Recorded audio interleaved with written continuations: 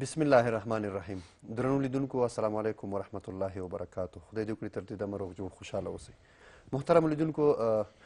زموږ د نننۍ خپرونې موضوع ده په عباداتو او کړنو کې د نیت اهمیت خوشبختانه د همدې موضوع د ښه تشریح کولو لپاره راسره په سټوډیو کې د تل په څیر نن بیا هم محترم الحاج مولانا سمیع الله ریحان صاحب راسره دی کور دې ودان وي چې له ځانه سره لرو محترم لیدونکو تاسو هم کولی شئ چې د خپلې خپرونې سره اړیکه ونیسئ او د موضوع په اړه چې هغه نیت دی چې نیت په اعمالو کې څومره مهم دی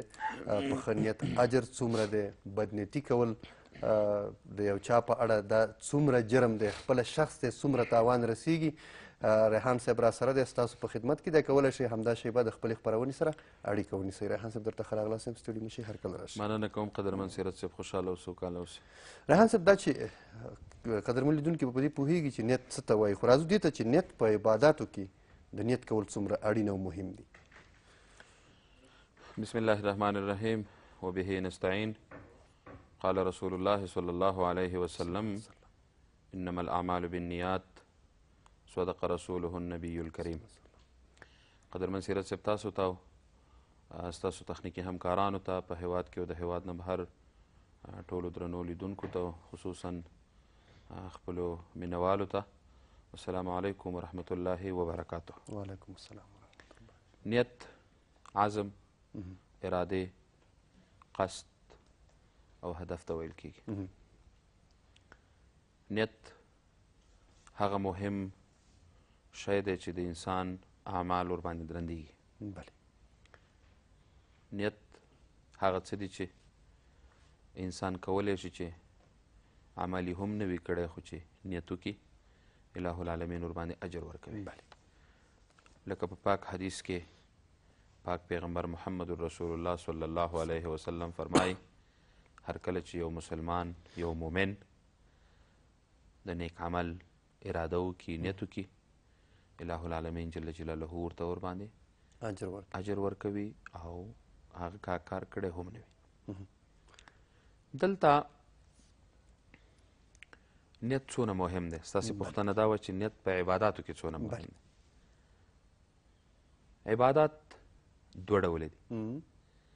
یو هغه عبادت دی چې مقصود به ذات دی بله یو هغه دی چې مقصود به ذات نه وي کم عبادت چې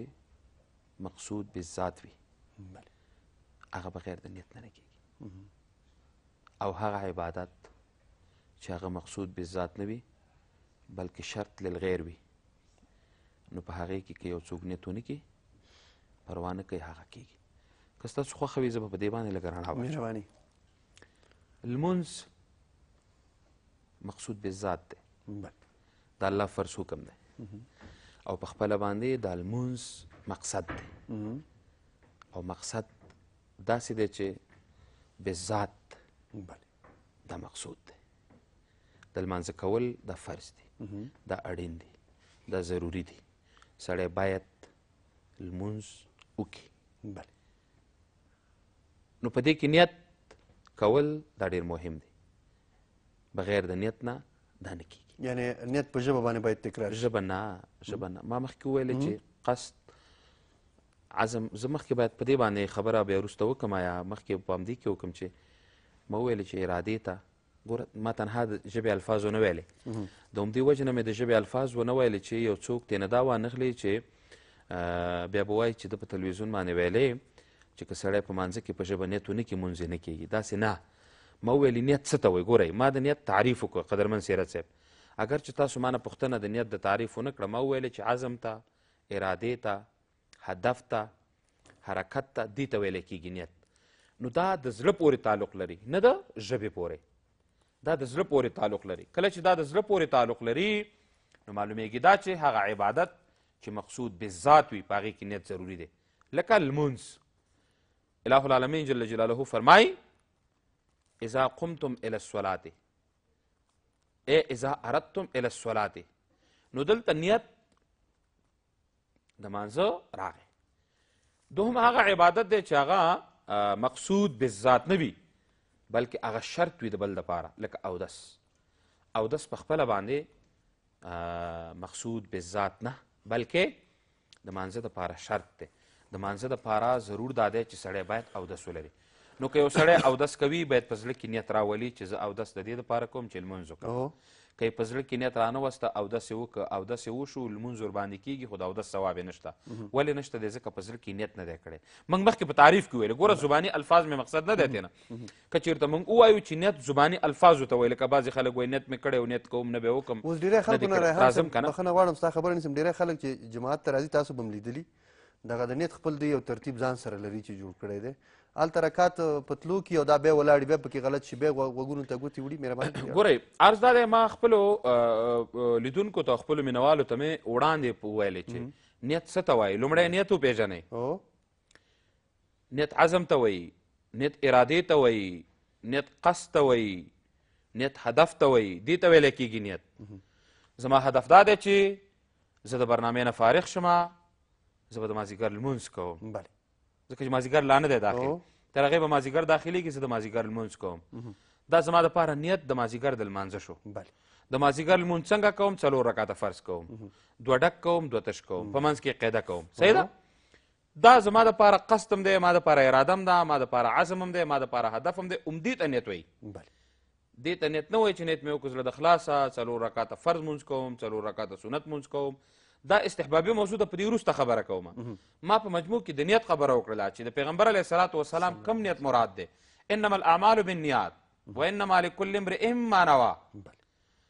پیغمبر علیه السلام فرمایي دارمدار د اعمالو دا د نیت پورې تړل شوی دی نیت د انسان څوک معلومي بدنیتی او نیکنیتی څوک معلومه اله العالمین جل جلاله معلومه د دې وجنه که سړی د لمانځه اراده کوي نو باید په زړه کې راولي نیت وکړي که نیت ونه کړي بیا د ده مونځ نه کیږي او که اودس کې نیت ونه که او اودس یې وکړ لمونځ یې وکړ لمونځ یې شوی دی په دغه اودس باندې لمونځ کیږي خو دا چې د اوداسه دپاره یې نیت نه دی کړی ثواب یې نه کیږي موږ وایو څنګه کول پکار دي زه به یې لږ واضح امیانه ډول به یې ووایم چې خویندې وروڼه ورباندې پوه شي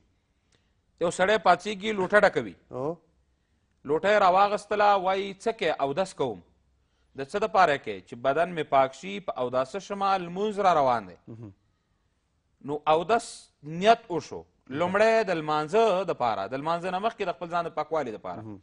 نو کله چې دی را روان شو هر قدم باندې الله ورته ګناه معاف کوي تر څو چې دی تشناب ته غسلخانې ته ننوځي ګناهونه معاف کیږي دی چې کله په خوله کې اوبه اچوي ځکه نیت یې کړی دی تویوي صغیره ګناه یې پرې معاف کیږي سترګو مخ چې کله وینځي سترګې ورسره انځل کیږي او پوزه انځل کیږي ګناهونه پرې معاف کیږي مس د سر چې کوي لاسونه چینځي خپې چینځي د ده نه ورباندې ګناه څنډل کېږي نو دا اودس دپاره چې د نیت وکړه دا مهم دی د لوټې راغستل یو ثواب دی یا بل مثال ووایم لوټه نشته دی د بمبې خلاصول یو ثواب دی د تشناب د دروازې بندول بل ثواب دی اودس کول بل ثواب دی په اوداسه کې هر اندام درې ځلې انځل بل ثواب دی د ما د اوداسه نه وروسته فارغېدل مخ په پاک دسمال یا په کاغذ باندې وچول دا بل ثواب دی د هغې نه بعد مانځه ته تلل دا بېل ثواب دی ګورئ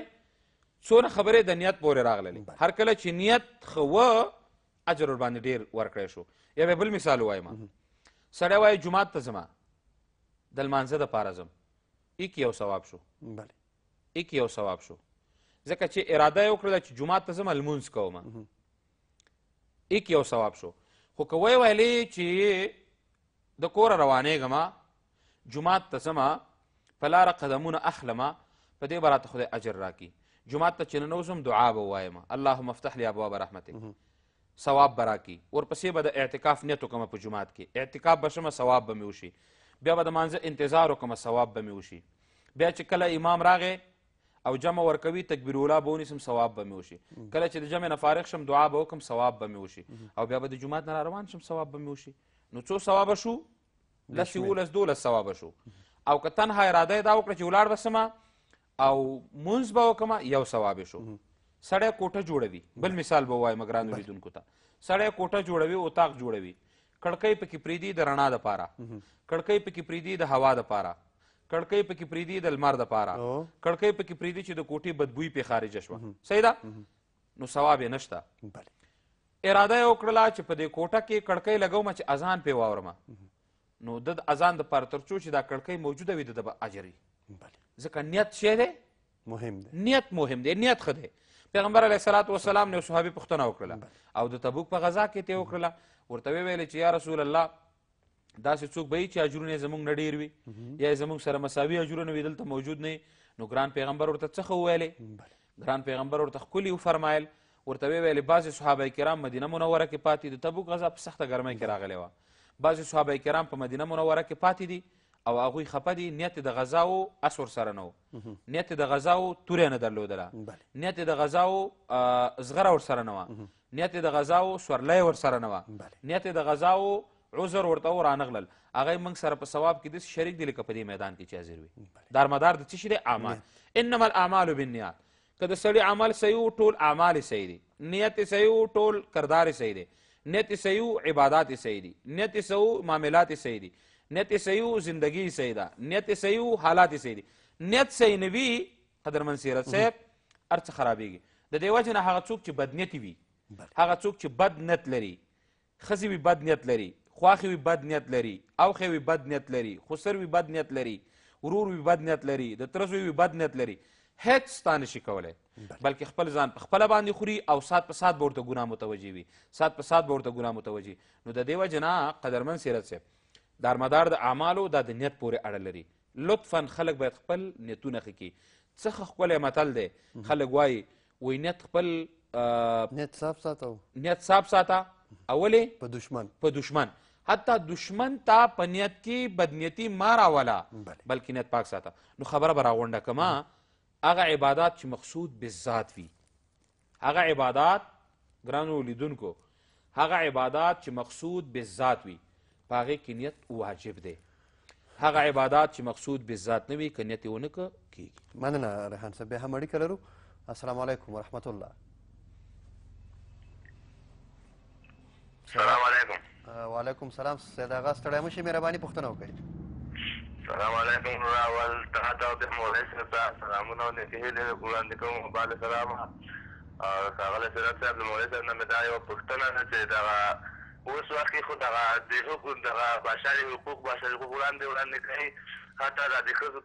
نو په باره کې دوی وایي که نه چې دا ښځې دومره له نر سره حق لري دا لري مولوي صاحب محترم نه مې دغه یوه پوښتنه ده چې دغه د ښځو په باره کې حقوق ښځه ایا دومره حق لري چې په یوه اداره کې له یو پردي نارینه سره دا کار وکړي او که نه لري که ددې په باره کې لږ رڼا باندې واچوي نو دا به ډېر ښه وي. سمه ده خپرونه ګوره ریحان صاحب را سره دی په دې اړه به معلومات درکړي په دې اړه خو څو ځل همدغه موضوع زموږ مېلمنو په تفصیلي ډول څېړلې ده خو بیا هم ریحان صاحب را سره دی په دې اړه معلومات درکړي ریحان صاحب راځو بدنیتۍ ته تاسو که څه هم اشاره ورته لرله ریحان صاحب په ټولنه کې کله نا کله بعضې خلک زموږ لیدونکي دغه اوس خپرونه ګوري بعضې خلکو په نیت کې داسې یو څه راشي حتی دغسې پوښتنې موږ ته څو څو دانې راغلي دي چې په مقابل جانب مثال نه خوښېږي نیت یې ورته دومره خراب وي که صرفه پې ورسېږي یا وسې پې ورسېږي نو د هغه په وژلو باندې صرفه نه کوي وژني یې خو یا له دښمنۍ ډارېږي یا وس یې نشته دی دغسې بدنیتۍ ته شریعت کې کوم مجازات شته کله چې موږ د نیت خبره کوو چې نیت مهم دی نو دلته بد نیت چا د پاره کول دا په خپله ګناه ده امام احمد رحمه الله د ګران پیغمبر محمد رسول الله صلی الله علیه وسلم حدیث ذکر کوي یو سړی نکاح تړي په نکاح کې مهر شرط دی بله نکاح تړي په نکاح کې مهر شرط دی او دی په نکاح کې دونه مهر ږدي چې دی ورکولی نشي بله او بیا وایي چې مهر پکې چاره اوس دی یا وایي چې مهر نه ورکوم مهر رانه نشي اخیستی ما خو د دوکې دپاره دونه مهر ټاکلی پلانې پټی دی او پلانې پټی دی اوښان مې درکړي او غواګانې مې درکړي او دا دي او دا دي هېڅ شی نه حتی کوټه بعضې خلک ورته دي هسې باد یې کړل که نه شاخه یې ورلاندې کړه باد یې کړل د دې دپاره یې نکاح وتړله چې دی دا ښځه دوکه کړي ښځه یې دوکه کړه نو دا نکاح نه ده شوې هغه خلک دې په خپلو نکاحونو باندې وډار شي چې هغوی مهرونه ښځو ته نه ورکوي مهرونه ږدي او نه ورکوي د دروغو پټي پکې لیکلي قوالو کې ورته د دروغو پټي ورته په قوالو کې لیکي او دا ښځې هم دونه سادهګانې دي ویې مني وایي اتلس منزله بلډینګ دی منځ کې هیڅ هم نه لري او دونه ځمکې دي او دونه دا دي دا دي دا دي دا دي دا ورته ویې وایي ویې وایي ویې وایي ویې وایي وایي هېڅ ورسره ومني پیغمبر علیه السلام فرمایي کومه نکاح چې تړل کیږي او سړی د دې دپاره نکاح تړي او مهر پکې ږدي چې د ښځې ته مهر نه ورکوي اراده یې د ښځې سره بدنیتي وي د ښځې دوکه کول وي نو دا نکاح نه کیږي ټول عمر که دی تیری په زنا کې به تیری دا معنی دی ویلي دا پیغمبر علیه السلام ویلي دویم چا نه قرض اخلي او بیرته د نیت د ورکولو نه وي نیت دې د ځورولو وي نیت دې د کړولو وي او نیت دې دا وي چې نه ورکوم نو دلته خو پیغمبر علیه السلام فرمایي مطل الغني ظلم کله چې ته پیسې لرې او خپل قرضدار ته یې نه ورکې چې د چا قرض در پوري دا خو ته ظلم کې نو دلته اراده د ده دا وي چې زه دا سړی وځوروم قرض ترې نه دې دپاره واخلم چې ورې نه کړم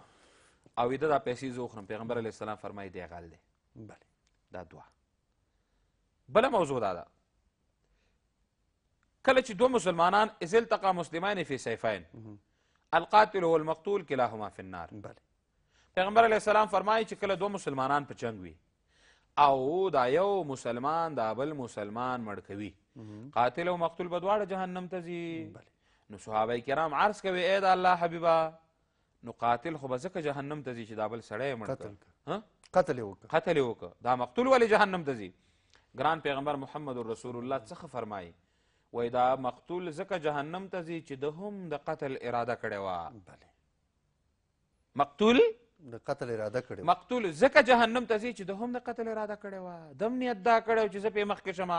هغه ور باندې مخکې شو نو ځکه محمد رسول الله فرمایي القاتل والمقتول کلاهما فی النار قاتل او مقتول دا دواړه په څه شي کې دي دا دواړه په جهنم کې یعنی یو چا ته بد نیت کول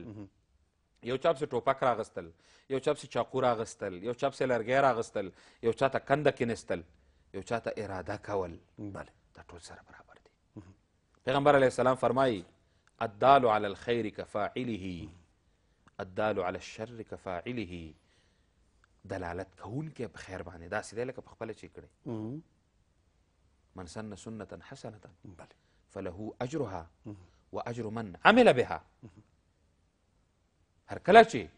یو سړی په خیر باندې دلالت کوي او کله که د شر اراده سړی کوي نو هغه به بیا په دې کې پرېوځي هر څوک چې چا د قتل نیت کوي سړی چې مړ کېږي دا ورسره شریک دی نو د دې وجه نه سړی باید نیت پاک او بد نیت سړی ټول عمر خوار دی ټول عمر چې خوار دی ذلیله دی هغه څوک دی چې نیت یې بد وي بد نیت یې سړی مننه رحمان صاحب همدې تفصیل ته به هم راګرځو خو د لنډې دمې وخت دمې ته ورځو قدرمن لیدونکو لنډه دمه لرو چېرته مزه یې له خپرونې سره پاتې شي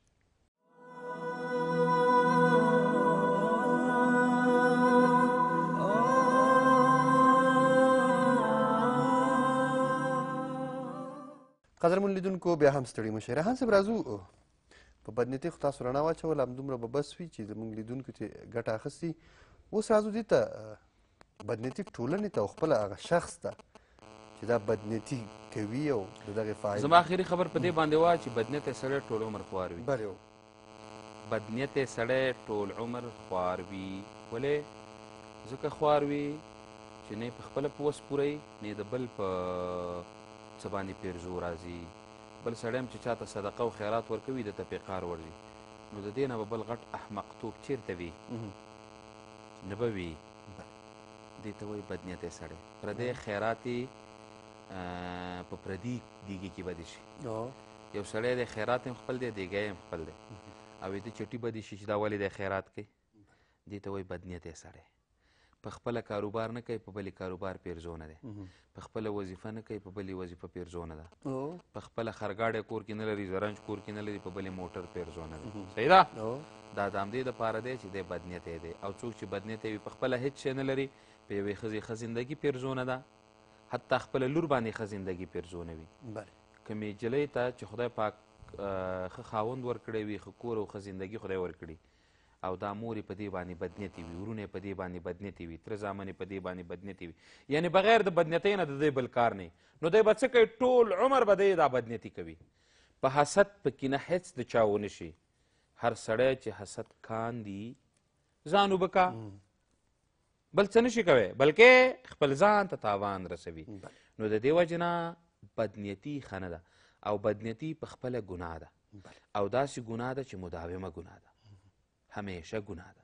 هر کله چې بدنیته ګناه ده ټول عمر ماشوم سره نښته غټ سره نښته بل سره نښته بل سره نښته بل سره په دې نه کېږي نه بلکې د الله په نعمتونو باندې شکر ایستل اله العالمین به د هغې نه زیاته ورکوي الله پاک به ښه ورته ورکوي نو د دې دپاره دا ډېره ضروري ده قدرمن سیرت صاحب چې خلک په چا باندې نیت بد نه کړي هېڅ کله نه په چا باندې نیت خپل بد ونه نیسي بلکې الله پاک ورکړه ده چې چاته څه ورکوي د الله خوښه ده که نه ورکوي د اله العالمین خوښه ده او بدنیتي معاشره کې ظلم منځته راوړي کینه منځته راوړي حسد منځته راوړي او بالاخره دغه ورسره جامعه ورسره د منځه ځي نو کله چې جامعه فساد طرف ته ځي دا څه وجه ده دا د بدنیتۍ وجه ده نو د دې وجه نه باید ټول خویندې ورونه د بدو نیتونو نه ځان وساتي ښه نیت ولري ګوره د اسلام مبارک دین دی پیغمبر علیه الصلات والسلام فرمایي ظن المؤمنین خیره ما لم یرا شره تر هغه په مسلمان د خیر ګمان کوه چې تا پکې شر نه وي لیدلی یاره زما په ګمان به داسې وي زما نو ته به چې او ستا به ګمان شي ته یې چې او ستا به ګمان شي ستا به ګمان شي یو سړی چا واده کې نه پرېښود هغه ویل یاره چې دې ناوې سره مې ډوډۍ خوړلې نو ته یې چې په دې جامع او په دې ټولنه کې خو خپل ځان به وبکې خپل ځان به وبکې هېڅ شی د چا نه شي کولی ظن المؤمنین خیره ما لم یرا شره دا اوس ما ته په تلویزیون کې ناست دي ځینې خلک به یې برنامې نه به خوند اخلي ځینې خلک به هغه به تبصرې کوي په تا باندې تبصره په ما به تبصره کوي په دې تلویزیون به تبصره کوي نو دا تبصرو والا چې دي دی برنامه مو نه لیده صحیح خوند هم ترې وانه غسته مسلې هم پکې یادې نه کړلې او ځان یې خراب خراب د خلکو یې نیکۍ پورته کړې هغه څوک چې برنامې نه خوند اخلي خوشحالېږي دوست به دې خوشحالېږي دشمن به دې خفه کېږي بله یعنی د خپل ځان دشمن بدنیت انسان دی که لږې بیخي واضح ووایم چې دا خلک ورباندې پوه شي ځکه زه خو واضح خبرې کوم پاکټ باندې خبرې خوند نه راکوي راته زه وایم چې سپینه خبره ډېره ښه که واضح ووایم د ځان سره ظلم بدنیتي ده څوک چې د ځان سره ظلم کوي بدنیتي دی مننه خان صاحب بیا هم اړیکه لرو السلام علیکم ورحمت الله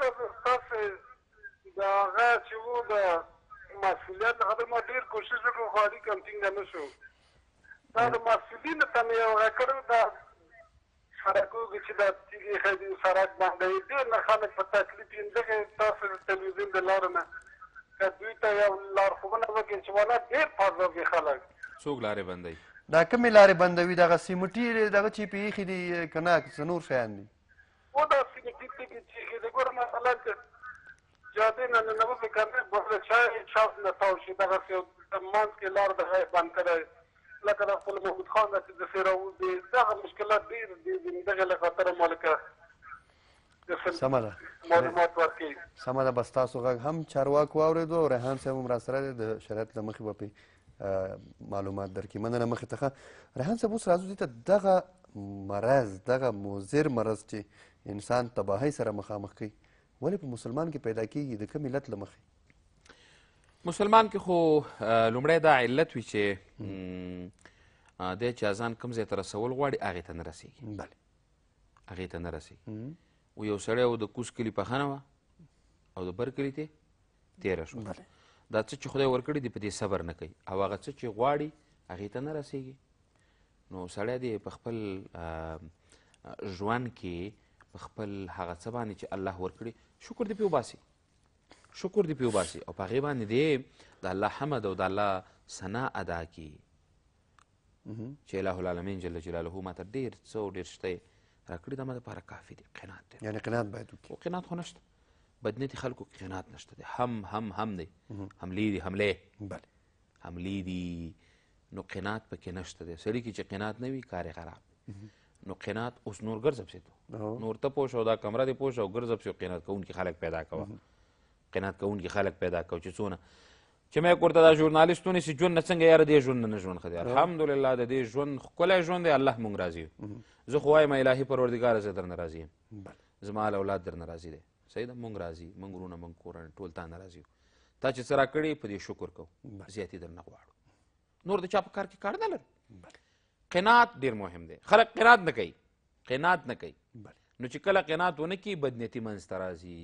چې ورته وایي لکه پلاني سړي خیر کار وکړه پلاني سړي ګټه وکړه په هغې الحمدلله نه وایي دی پرې نه خوشحالېږي وایي زما ولې داسې نه کېږي په دې په هغې په هغې دی نه خوشحالېږي نو کله چې دی په بل مسلمان نه خوشحالېږي خدای دی لیدلی دی صحیح ده د د نیت ګوري اله العالمین حتی ورسره بعضې ماسې خو لا معاملې دا مو کوي. په ګرهان سره خدای دې هغه نه واخلي ما ته دې راکړي داسې خو نه کېږي انا عند ظني عبدي بله. د بنده د یقین سره اله العالمین هم داسې دي نو سړی چې څه رقم نیت ولري بله هغسې ورسره معامله کېږي نیک نیت ولري ډېره ښه ده. ما مخکې ډېر یو امیانه آه، مثال ما وړاندې کړ د کړکۍ بله. سړی په کوټه کې کړکۍ پرېږدي یا بل مثال ووایم حدیث شریف کې راځي یو سړی دی راځي موږی ټک وهي بله چې خلک به جومات ته راشي دې پورې به اس وتړي یا به دې پورې خر وتړي یا به دې پورې غوا غویه وتړي جومات کې به څه وکړي لمونځ به وکړي لمونځ به وکړي بل راځي دا وباسي و دې چاخ پپ کې وننښلي ونه غورځېږي ونه غورځېږي اجر د چا ډېر دی دواړو ډېر دی لومړنی اجر د دې دی چې هغه په ښه نیت ټکوالی د دویم اجر په دې دی چې په ښه نیت یې ایستلی دی په ښه نیت یې ایستلی دی دواړو ته الله اجر ورکوي او که د لومړني نیت بد وي او د دویم وي بیا وای کنه وای وای وای وای خله سمه خوځوه او کارونه خراب کوه نو خو ټول عمر به ته خراب ګرځې ټول عمر به ته ذلیله ګرځې فلهذا عدم قناعت سبب ده بدنیتۍ ګرځي مننه ده زه بیا هم له ننګرهار اړیکه لرو السلام علیکم ورحمت الله وعلیکم سلام څنګه روغ خوشحاله اوسې مهرباني پوښتنه وکړئ خورې زه د مولوي صاحب نه دا پوښتنه لرم که نه یو دا چې څوک خپله ځان وولي که نه هغوی هغوی ته درود شریف ویل او هغوی پسې بخښل که نه هغوی ته کومه ګټه رسوي او که نه او بله دا چې زه مولوي صاحب نه ورته وایم که داسې یو دوا ما ته ووایي که نه زه داسې یو رقم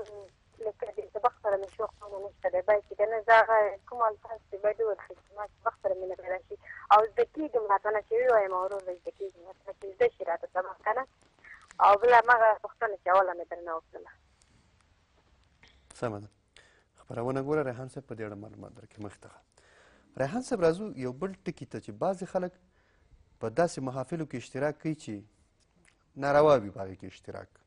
که ترې پوښتنه وکړي چې دغه محافل دغه مجالس ښه نه دي ویې نیت صاف ساته زړه پاک ساته داسې خلک هم لیدل شوي دي چې ورته چې راځه لمونځ وکړه ویې نه نیت پاک ساته دغه پاک نیت په هغه مجالسو کې پاک نیت ساتل او دغلته دا څنګه د شریعت له مخې اور او اوبه یو ځای کول دي دا امکان نه لري ته به ورته وایې لکه ګیره ولې کلی زړه مې پاک دی ولکه دا دروغ ولې وې زړه مې پاک دی وخت دا مخ دی ولې لوڅ کړی دی بازار کې ګرځي اوه ان د زړه ستر مهم دی ها ته به ورته وایې چې دا سود مه کوه نیت مې صاف دی زړه مې پاک دی او نیت مې صاف دی نیت دې مردار دی او زړه دې مردار دی بله نیت دې خراب دی او زړه دې خراب دی د تا غوندې ګنده زړه بیخي د هیچا نشته دی پیغمبر علیه الصلات والسلام فرمایي د انسان په بدن کې یو ټوټه غوښه ده اذا صلحت صلح جسده کله کله چې هغه جوړه وي ټول بدن به جوړ وي او کله چې هغه فاسده وي ټول بدن به فاسد وي الا وهي القلب پیغمبر علیه السلام مبارک فرمایي چې هغه زړه دی اچه دی هغه زړه دی زړه چې دی پاک وي مونځ به کوې عبادت به کوې بدنیتي به نه کوې جومات ته به ځې تلاوت به کوې منځونه به کوې نیک اعمال به کوې هوټلونو ته به نه ځې اتڼونه به نه کوې ګډېږې به نه رشوتونه به نه اخلې سودونه به نه کوې ډولونه به نه وهې دا کیسې پسې به نه کوې او که ته وایې چې دا کومه نیت مې پاک دی هلکه چرس ولې څکې نیت مې پاک دی نیت چې پاک هغه چرس کي غاخونه دي تا کتلی دي تک جوړ غاخونه دي نیولې دي نیت مې پاک دي چې شي نیت دې پاک دي ولکه جمعه ته نیت مې پاک دي تا خ ډیر علم کړی دی نیت دې پاک نه دی ما علم نه دی کړی نیت مې پاک دی نیت دې خراب دی تم خراب دی سر نه تر خپو پورې ټول خراب اخرت دې ځان له خراب کړی دی ډمبرو لرګی کړی دی دنیا دې غرق کړه نه دې دنیا وخوړه نه دې اخرت وخوړه کافر خو تا نه ډېر ښه دی دنیا خو یې وخوړه که نه اخرت یې غرق دی الدنیا سجن المؤمن و جنت الکافر بله پیغمبر علیه الصلاۃ والسلام فرمایي مسلمان د پاره دوزخ دی دنیا بندیخانه ده تکلیف دی سختی ده او د کافر د پاره جنت دی هغه مسلمان چې مزبذب وي مزبذب وي نیت مې پاک دی خیالات مې پاک دي او زړه مې پاک دی تاسو غونې بد نیت نه یم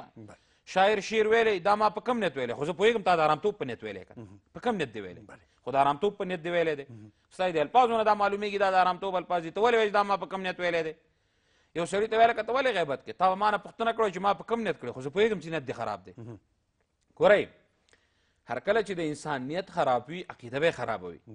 نیت خراب وي زړه به خراب وي ما ویل د زړه قصد ته نیت وایي کنه عزم ته هدف ته نیت وایي نو هر کله چې د زړه خراب دی ټول بدن دی خراب دی خیالات دی خراب دی فکرونه دی خراب دی خبرې دی خراب دی واده ته زما زما نیت ښه دی نو هلته واده کې څه کېږي پیغمبر علیه السلام فرمایي داسې مجالسو ته مه ځه چې په هغې کې د الله او د الله د رسول نافرماني کېږي او ته ورته ور روان یې خلکو نیت جوړ کړئ او د افغانستان مسلمانانو چې نیت جوړ نه کوي ملک نه جوړېږي نیتونه هم خراب دي او ستاسې د نیتونو د وجې نه خدای پاک دا ټول افغانستان نیولی دی چارواکو نیتونه ډېر خراب دي د هغې پسې چې لږ ورټیټ دي د هغې نیتونه ډېر خراب دي په مولیانو کې باور وکړه داسې نیتونه به د خلکو وي نه به مولا خو داسې بدنیته انسان به وي چې په بل انسان باندې به پاکې جامې پېرزوني به مولا بله څوارلسم کلي کې به تېنه د سخات روپۍ نه خلاصېږي څویم کلي کې څوارلسم کلي کې به تېنه د سخات روپۍ نه خلاصېږي او یو خیرنه چپن به پیدا کړي او کش په اوغو باندې او خیر به نه وای چې خدای دې ملک خیر راولي و دې ملک شر راولي و شر بخ عزت کې خیر ما باشه دا اوس خبره ده چې دی کوي شر بخ عزت کې دی شر کې زمونږ خیر دی نه نه نه نه زمونږ په خیر کې خیر دی فلهذا نیتونه جوړ کړي ښځه د میړه دپاره غله ده میړه د ښځې دپاره غل دی ګورئ پیغمبر علیه السلام دا هم فرمایي یو سړی دی په تیاره کې د خپل خزې په اراده لاس واچو چاته په کور کې خدای دې نه کی بل چاته لاس ورغی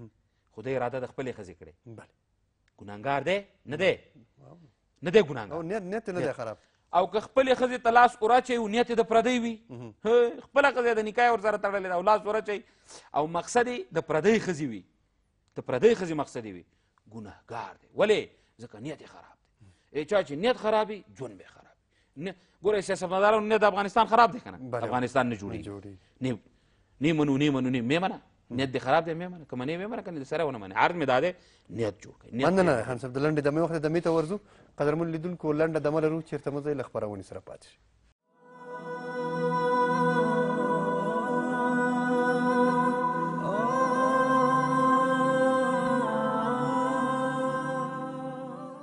درنو لیدونکو بیا هم ستړي مشر هر څه راځو د لیدونکو پوښتنو ته راځو یو خور اړیکه له ننګرهاره نیولې وه پوښتنه دا وه پنځلس کاله کېږي چې مېړه مې مړ دی لورګانې ورته پاتې دي زوی نه لري څلورګانې وادې شوي دي یو دانه یا دوه په کور کې لري وایي چې دکانونه هم لرو ځمکې هم هم لرو هغې نه عایدات راځي خو دغه لیورونه یې ما ته نه راکوي فقط ما ته د میاشتې پنځلس زره روپۍ راکوي همدغه مې حق دی د شریعت له مخې که نه په هغه عایداتو کې حق لرم هېڅکله د دغه حق نه دی پنځلس زره روپۍ چې دا لیورونه یې تا ته درکوي دا ظلم کوي دا زیاتی کوي دا جبر کوي او هېڅکله به دی هم په خېټه نه مړېږي دی به هم همداسې در په در وي ځکه چې ستا د خاوند په دغه مال کې مستقل حق دی باید که دی څلور رونه وي مال څلور حصې کړي ستا د مېړه په شمول باندې اخو وفات دی خدای دې وبخي باید تا ته پوره حق درکړي په دې پنځلس زرو د دی غاړه نه خلاصېږي باید د دوکانو هم پوره حق درته درکړي او د هر چي شي درکړي چې نه یې درکوي ظلم دی او د ظلم سره چې هغه په خپل اولاد لګوي هغه حرام دي ځکه ستا د یتیمانو مال دی ته کونډه ستاسو پیسې دي او هغه خپل بچو خپل خزي ته ورکي حرام ور باندې خوري حرام هیڅ عبادت نه قبلي مننه د یتیم مال چې هر څو خوري د سره عبادت نه قبليږي افغانستان کې داسې خلک دي چې د یتیم مال ډېر په فخر باندې خوري غټان دی او کواړه دي هر څوک چې د یتیم مال خوري دا حرام دی او په خېټه کې د جهنم سکروټې پرې مننه ریحان صاحب صدقه سروبي نړۍ کنيولې و بشر حقوق ته اشاره کړې چې د ښځو حقوق وې څنګه دي خو دا تفصیلي ده که وشو په راتلونکو خپرونو کې به دې په تفصیلي ډول ځواب وي ګلواله د پغمان نه اړیکه نیولې وه وایي که یو چا یو څه چیرته ایښي وي او هغه له هغه ځایه لا درکه شوي آیا وې دا جواز لري چې وې که چا دا شی اخیستی دا قرآن دی ورپسې شي قرآن دی ووهي دغه ویل وې جواز لري ګورئ دا ویره ده که نه قسم نه دی دا ویره ده دا یو چا کې ویره اچول دي